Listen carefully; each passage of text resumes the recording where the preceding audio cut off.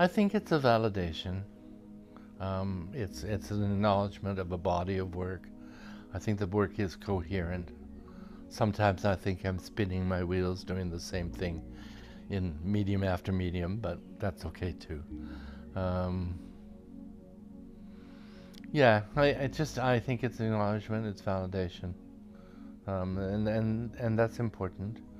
Um, it's also um, a, cohesive look at a body of work.